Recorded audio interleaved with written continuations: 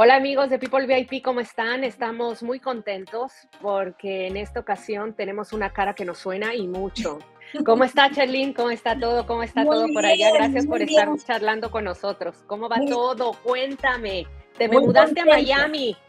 Estoy feliz, la verdad es que en un proyecto que me tiene muy contenta, eh, una semana muy importante para mí durante la, eh, la competencia de Tu cara me suena y feliz porque estamos trabajando con todo el corazón para llevarle a la gente en la casa un proyecto con mucho amor, con mucha dedicación, con mucho profesionalismo y con muchas ganas.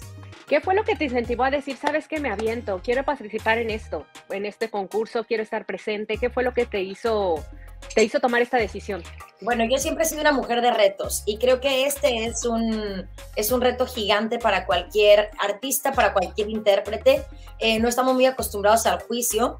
Regularmente por nuestro trabajo estamos acostumbrados a que nos digan las cosas lindas. Así es. Y venir por tu propio gusto a que te digan en la cara qué es lo que está haciendo mal es un trabajo muy fuerte. Es un, un trabajo de dejar de lado el ego y de venir con actitud de estudiante, literal, a desaprender muchas cosas que tenemos y aprender nuevas. Entonces, me tiene muy contenta, eso fue lo que me motivó y me he ido enamorando más del proyecto conforme ha ido avanzando por mis compañeros, por mis maestros y por el crecimiento que ha sido para nosotros, no solamente a nivel profesional, sino a nivel personal.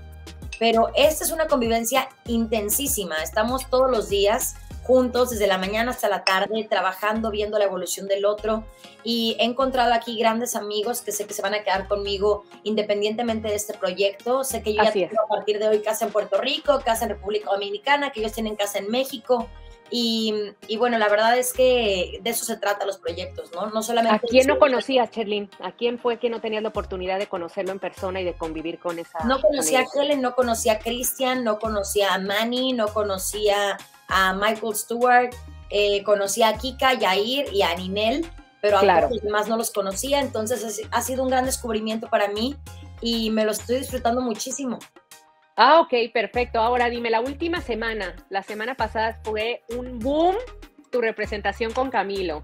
Fue genial. ¿Cómo fue la que preparaste toda esa personificación? También es interesante y me gustaría que destaques que hay un equipo detrás de ustedes. Sabes que aparte del talento de ahí ustedes, hay un talento detrás de cámaras que son los que les ayudan en cuanto a maquillaje, vestuario. ¿Cómo es para la preparación de cada uno de los personajes que les toca realizar cada semana, Cherry? Pues tenemos de entrada a la cabeza a una productora que es lo máximo, que la conocen ustedes muy bien, que es Claudia Atelier, que es la encargada de premios importantísimos, de mira quién baila. Bueno, te puedo nombrar un sinfín de proyectos que ha hecho. Es una mujer visionaria, eh, vanguardista y que tiene un equipo maravilloso con ella, ¿no? Eso por un lado. Y por otro lado, pues bueno, es la primera gran producción de Televisa Univisión que le da un peso mucho más grande todavía y por eso están los ojos y el corazón de todo el mundo puesto en que este proyecto salga de maravilla.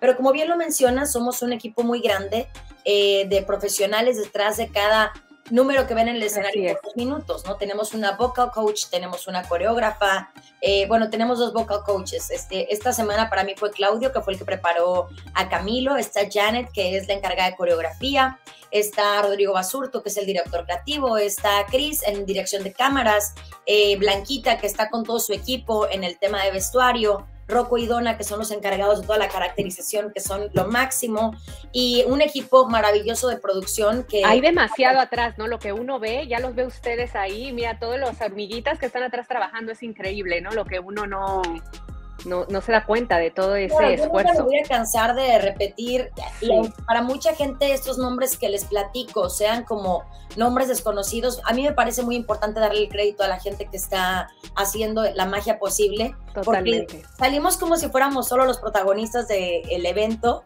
pero no es así. Tenemos un trabajo maravilloso con nosotros que nos hace salir al escenario acompañados y cobijados para que la gente pueda tener lo mejor de nosotros y que nos hacen brillar. Perfecto. Ahora, para terminar, ¿por qué hay que ver tu cara te suena? Tu cara me suena. ¿Por qué hay que verla? Invita a todas las personas que nos están sintonizando, que todavía no se han aventado tal vez a ver este programa. Eh, ¿Por qué hay que verlo?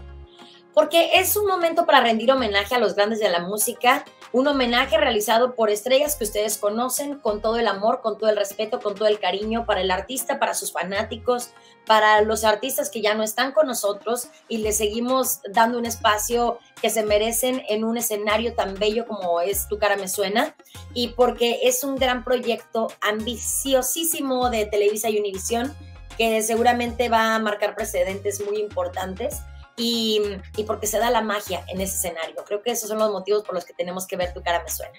Perfecto, Cherlin, te agradezco mucho, muchas gracias por sintonizarnos y bueno, aquí estaremos apoyándote semana tras semana. Con todo mi cariño a People en español, que siempre son un aliado importantísimo para mí. Les mando todo mi cariño. Gracias por tantos comentarios lindos con lo de Camilo. Gracias por todas las fotos de mi hijo que publican. Los quiero un montón y los veo muy pronto.